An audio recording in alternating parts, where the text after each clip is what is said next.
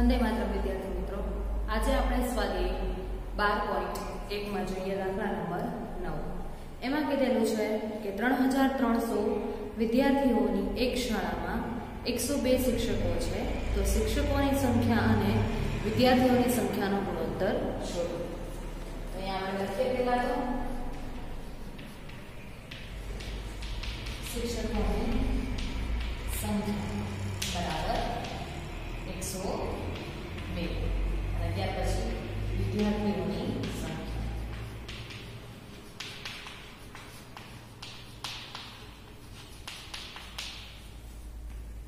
ત્રણ હજાર ત્રણસો હવે ગુણોત્તર પણ આપણને એ જ મેળવવાનું કીધેલું છે કે શિક્ષકોની સંખ્યા અને વિદ્યાર્થીઓની સંખ્યા એને આપણે લખીએ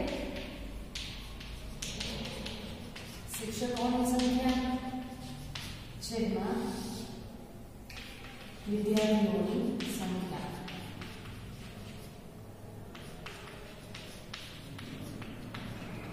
હવે શિક્ષકોની સંખ્યા છે એકસો બે અને વિદ્યાર્થીઓની સંખ્યા છે ત્રણ હજાર ત્રણસો હવે અહીંયા આપણે ભાગ પાડીએ તો આપણે એવા ભાગ પાડવાના હશે કે સરળ રીતે છે આપણે છેદ ઉડાડી શકીએ તો આપણે અહીંયા સત્તર ગુણ્યા છ કરીએ આપણને મળશે એકસો બે અને ત્યાર પછી પાંચસો પચાસ ગુણ્યા છ આપણને મળશે ત્રણ જો તમને આ રીતે છેદ ન ફાવે, તો તમને ખ્યાલ છે કે અહીંયા એકસો બે છે બે? એટલે એનો બે વડે ભાગ ચાલે. એવી રીતે અહીંયા છે ત્રણ હજાર ત્રણસો એકમનો અંક છે ઝીરો, એટલે એનો પણ બે સાથે ભાગ ચાલે. બરાબર? એટલે એ રીતે પણ તમે દાખલો ગણી શકો. હવે અહીંયા છ છ. કેન્સલ? એટલે આપણને મળશે સત્તરના છેદમાં પાંચસો પચાસ તો સત્તરના છેદમાં પાંચસો પચાસ છે એનો હવે આગળ ભાગ ચાલશે નહીં. તો આ થઈ ગયો આપણો ગુણોત્તર. સત્તર જેમ પાંચસો પચાસ. એટલે કે જે શાળા છે, એમાં શિક્ષક અને વિદ્યાર્થીઓનો ગુણોત્તર છે, એ છે સત્તર જેમ પાંચસો પચાસ. ત્યાર પછી આગળ આપણે જોઈએ. તો એક કોલેજના ચાર હજાર ત્રણસો વીસ વિદ્યાર્થીઓમાંથી ત્રેવીસો છોકરીઓ છે, તો નીચેના ગુણોત્તર શોધો. એમાં પહેલું છે એ કીધેલું છે, છોકરીઓની સંખ્યા અને કુલ વિદ્યાર્થીઓની સંખ્યા, ત્યાર પછી છોકરાઓની સંખ્યા અને છોકરીઓની સંખ્યા. તો પહેલા છે, આપણે જે માહિતી આપેલી છે લખી લઈએ કોલેજમાં કુલ વિદ્યાર્થીઓની સંખ્યા બરાબર ચાર હજાર ત્રણસો વીસ અને છોકરીઓની સંખ્યા છે એ છે ત્રેવીસ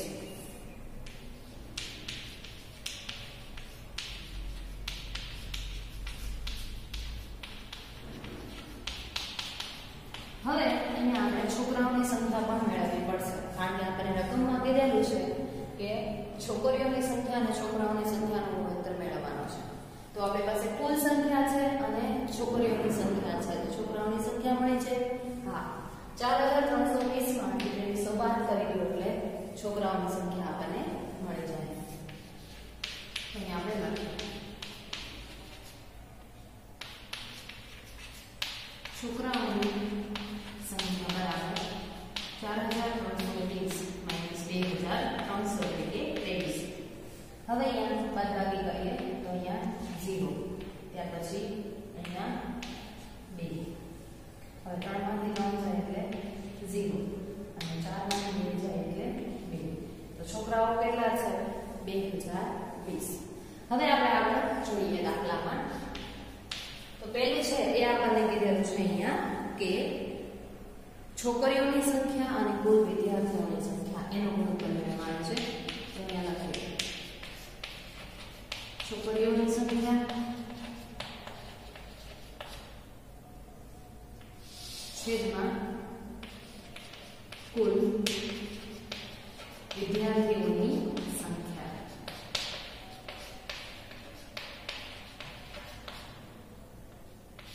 હવે છોકરીઓની સંખ્યા છે એ છે બે હજાર ત્રણસો અને કુલ વિદ્યાર્થીઓની સંખ્યા છે છે ચાર ત્રણસો વીસ. Zero zero cancel.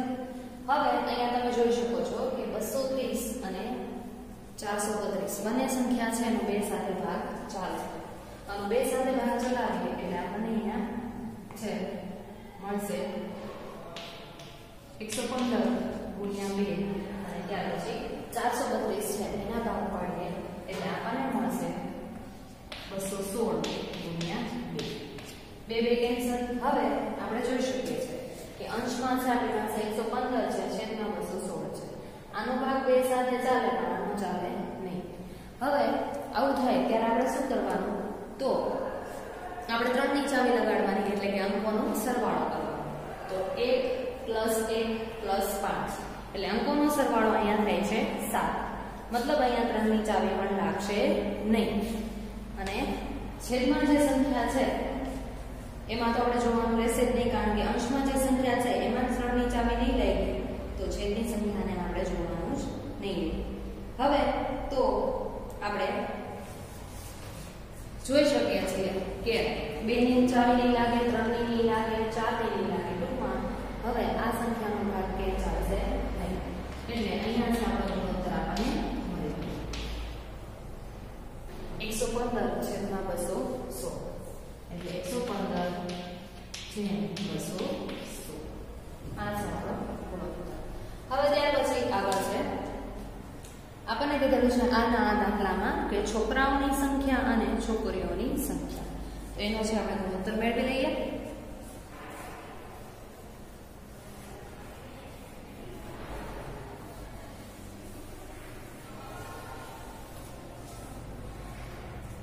અંશમાં આપણે લખવાનું છે છોકરાઓની સંખ્યા અને છેદમાં આવે છે છોકરીઓની સંખ્યા કારણ કે પેલા શું કીધું છે છોકરાઓની સંખ્યા અને છોકરીઓની સંખ્યા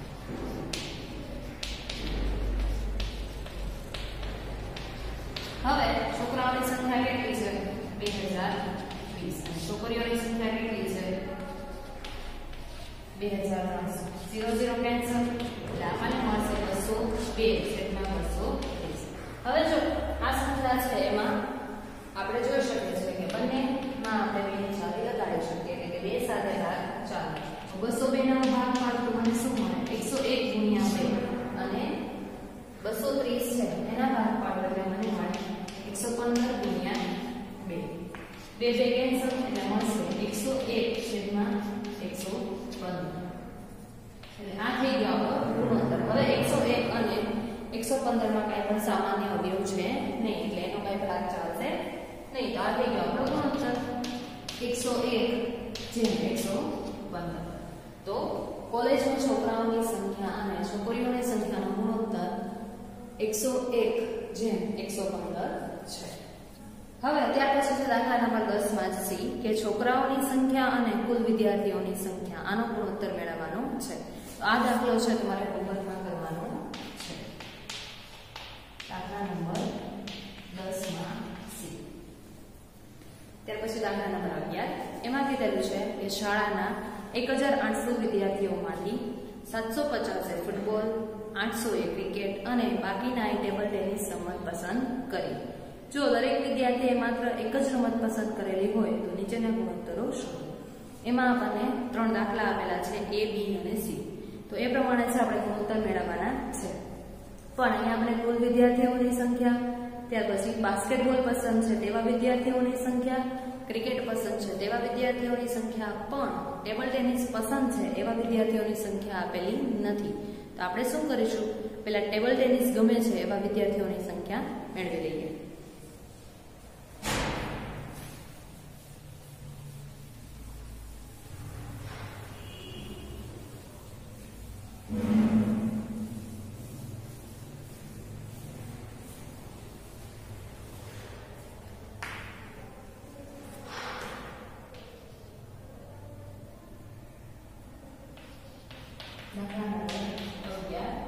નંબર અગિયાર એમાં આપણે લખીએ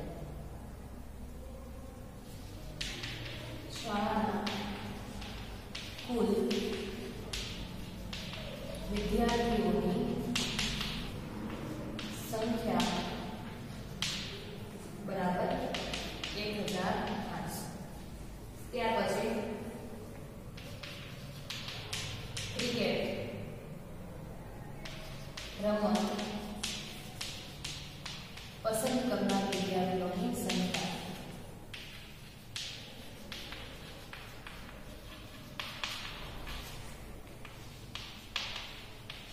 બરાબર આઠસો ત્યાર પછી બાસ્કેટબોલ પસંદ કરનાર વિદ્યાર્થીઓની સંખ્યા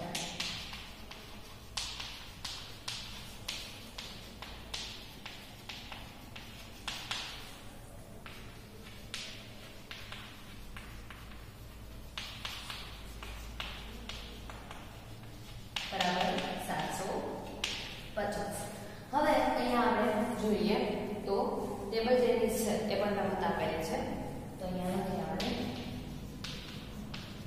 ટેબલ ટેનિસ રમત પસંદ કરનાર વિદ્યાર્થીઓની સંખ્યા બરાબર હવે કુલ વિદ્યાર્થીઓની સંખ્યા કેટલી છે એક હજાર આઠસો હવે ટેબલ ટેનિસ છે એ પસંદ કરેલું હોય એવા વિદ્યાર્થીઓની સંખ્યા મેળવવા માટે આ બેનો સરવાળો છે આપણે એક હજાર આઠસો માંથી બાદ કરવો પડશે. એટલે આ બેનો સરવાળો છે, આપણે કરીએ તો આપણને મળશે એક હજાર પાંચસો પચાસ મળશે. એટલે હું ડાયરેક્ટ અહીંયા એ જ લખું છું એક હજાર પાંચસો. પચાસ હવે એક હજાર આઠસો માંથી એક હજાર પાંચસો પચાસ બાદ કરીએ, એટલે આપણને મળશે બસો પચાસ. તો ટેબલ ટેનિસ કેટલાને ગમે છે? બસો પચાસ વિદ્યાર્થીઓને ગમે છે. હવે અહીંયા આપણે જોઈએ, પહેલું બાસ્કેટબોલ પસંદ કરનાર વિદ્યાર્થીઓ અને ટેનિસ પસંદ કરનાર વિદ્યાર્થીઓનો ગુણોત્તર. તો અહીંયા આપણે લખીએ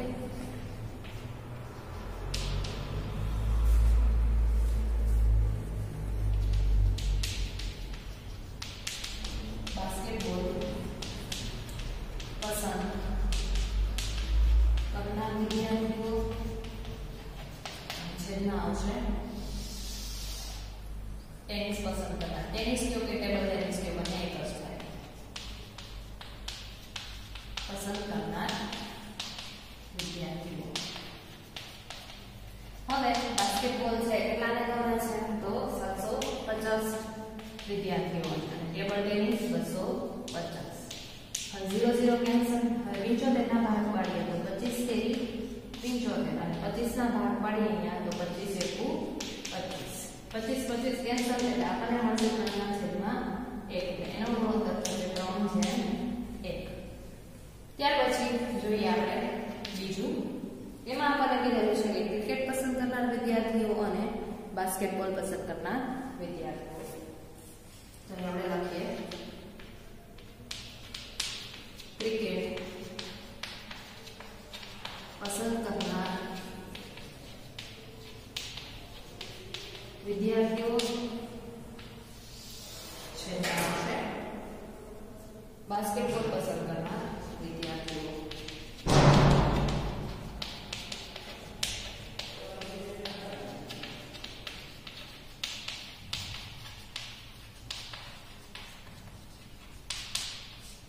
હવે ક્રિકેટ છે, એ પસંદ કરનાર વિદ્યાર્થીઓની સંખ્યા છે આઠસો અને બાસ્કેટબોલ છે, એ પસંદ કરનાર વિદ્યાર્થીઓની સંખ્યા છે, સાતસો પચાસ. તો ઝીરો ઝીરો કેન્સલ હવે આનો આપણે ભાગ ચલાવીએ. તો સોળ પંચા એસી અને પંદર પંચા પંચોતેર. પાંચ પાંચ કેન્સલ એટલે આપણને મળશે સોળના છેદમાં પંદર હવે સોળના છેદમાં પંદર છે એનો ભાગ ચાલે નહીં એ અતિ સંક્ષિપ્ત સ્વરૂપમાં જ આવી ગયું એટલે આપણો ગુણોત્તર થશે સોળ જેમ પંદર ત્યાર પછી દાખલા નંબર સી છે. બાસ્કેટબોલ પસંદ કરનાર વિદ્યાર્થીઓ અને કુલ વિદ્યાર્થીઓની સંખ્યા. તો આ દાખલો છે, તમારે હોમવર્કમાં કરવાનો છે. દાખલા નંબર અગિયારમાં સી. ત્યાર પછી આગળ જોઈએ આપણે દાખલા નંબર બાર. એમાં કીધેલું છે કે એક ડઝન પેનની કિંમત રૂપિયા એકસો એસી અને આઠ બોલ પેનની કિંમત રૂપિયા છપ્પન છે. તો પેન અને બોલ પેનની કિંમતનો ગુણોત્તર શોધો. હવે જો એક ડઝન પેન ડઝન એટલે કેટલી સંખ્યા થાય? બાર. તો હવે બાર પેનની કિંમત કેટલી છે? એકસો એસી રૂપિયા. અને આઠ બોલ પેનની કિંમત કેટલી છે? છપ્પન રૂપિયા. તો પેન અને બોલ પેન કિંમતનો ગુણોત્તર આપણે મેળવવાનો છે. તો હવે આપણે શું કરીશું અહીંયા? પહેલાં તો ત્રિરાશી મૂકી એક પેનની કિંમત અને ત્યાર પછી એક બોલ પેનની કિંમત મેળવી લઈશું એ મળી જાય, ત્યાર પછી આપણે એ બંનેનો શું લેશું? ગુણોત્તર.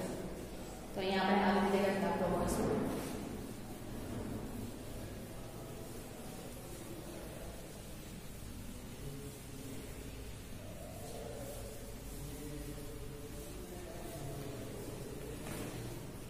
દાખલા નંબર બાર હવે અહીંયા આપણે પેલા લખી નાખીએ એક ડઝન બરાબર બાર હવે અહીંયા આપણે ત્રિરાશિ મૂકીએ તો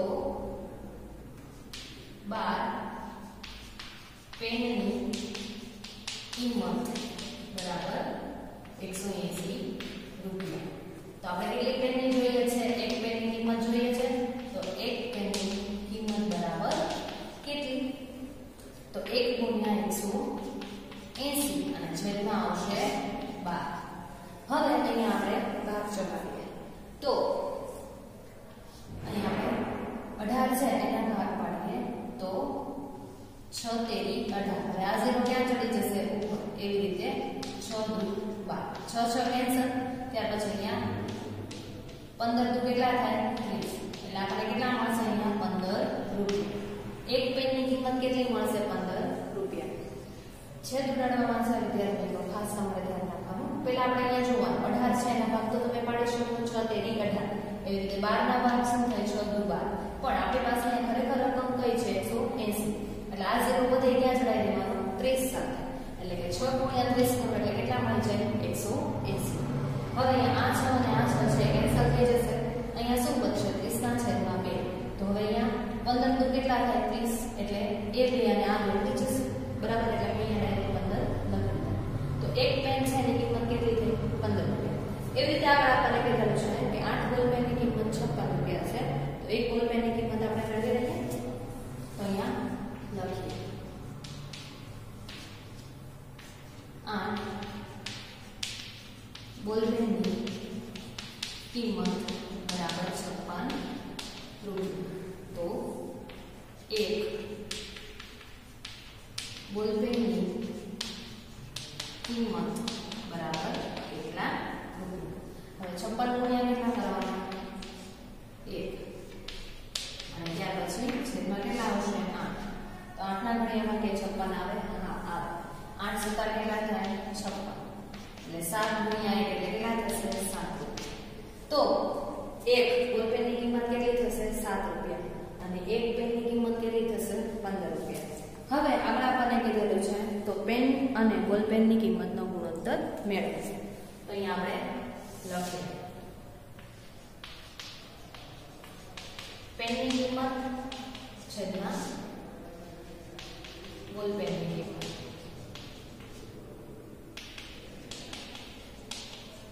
હવે પેન છે એની કિંમત કેટલી છે પંદર રૂપિયા અહીં ધ્યાન રાખજો આપણે એક પેન અને એક બોલ પેનની કિંમત મેળવી ત્યાર પછી જ ગુણોત્તર મેળવવાનો થશે અને છેદમાં સાત રૂપિયા રૂપિયા કેન્સલ પંદર ના છેદમાં સાત. હવે પંદર અને સાત, બંનેમાંથી કંઈ પણ સામાન્ય અવયવ આપણને મળે નહીં. આપણે શું કરી દેવાનું? અહીંયા આને અતિ સંક્ષિપ્ત સ્વરૂપ છે. એ ગણી અને ગુણોત્તર લખી દેવાનું, એટલે કે પંદર જેમ સાત. હવે ત્યાર પછી છે આગળ આપણને કીધેલું છે કે આપેલું વિધાન વિચારો, એક સભાખંડની પહોળાઈ અને લંબાઈનો ગુણોત્તર બે જેમ પાંચ છે. જો હોલની પહોળાઈ અને લંબાઈ આધારે નીચેનું કોષ્ટક પૂર્ણ કરો. કોષ્ટક છે તમને ટેક્સ્ટબુકમાં આપેલું છે. એમાં કહેલું છે કે સભાખંડની પહોળાઈ મીટરમાં, એમાં દસ અને છેદમાં પચીસ. બરાબર? એટલે કે પહોળાઈ દસ અને લંબાઈ કેટલી છે? પચીસ. એના આધારે આપણે આગળનું કોષ્ટક પૂર્ણ કરવાનું છે. હવે બંનેનો ગુણોત્તર છે ને બે જેમ પાંચ છે. દસના છેદમાં આપણે પચીસ લખીએ ને, તો એનું અતિ સંક્ષિપ્ત સ્વરૂપ મેળવીએ એટલે આપણે બેના છેદમાં પાંચ જ મળે. એટલે બાકીના જે બધા ગુણોત્તર છે આપણે એવી રીતે મેળવવાના છે કે જેનું અતિ સંક્ષિપ્ત સ્વરૂપ આપણને પહેલા છેદમાં પાંચ જ મળે. તો દાખલો ભણીએ. આગળ આપણે જે દાખલો ભણેલો છે, એના કેવો છે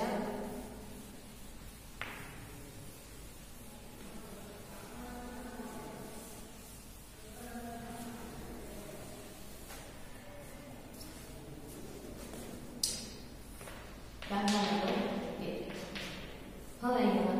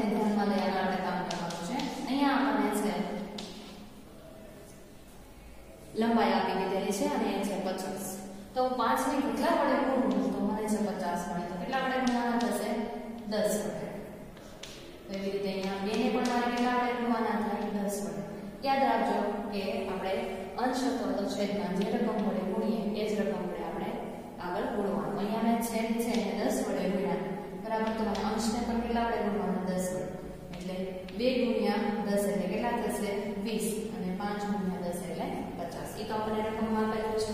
એટલે અહીંયા કેટલા આવશે? ચોરસ બોક્સમાં વીસ. ત્યાર પછી આગળ જોઈએ આપણે. તો આ જ ગુણોત્તરને આપણે છે. હવે અહીંયા આપણી પાસે ચાલીસ છે. અહીંયા જે છે, લંબાઈ, એ આપણે મેળવવાની છે. તો હવે અહીંયા બે છે. એને કેટલા વડે તો આપણને ચાલીસ મળે. તો વીસ. અને વીસ ગુણ્યા બે એટલે થાય? ચાલીસ. તો અહીંયા પાંચ ને કેટલા વડે ગુણવાના વીસ. એટલે વીસ પંચા કેટલા અને તો અતિ સંક્ષિપ્ત સ્વરૂપ મેળવે એટલે તમને બે છેદમાં પાંચ જ મળે. કારણ કે અતિ સંક્ષિપ્ત સ્વરૂપમાં જે સંખ્યા મેળવેલી છે. બરાબર? એટલે હવે અહીંયા કેટલા આવશે? સો. તો બસ આ રીતે દાખલો ગણવાનો હતો. તમારે અહીંયા ગણતરી છે લખવી હોય તો તમે લખી શકો. વધારે છે. હવે આપણે દાખલા. આવતા વીડિયો લેક્ચરમાં જોઈશું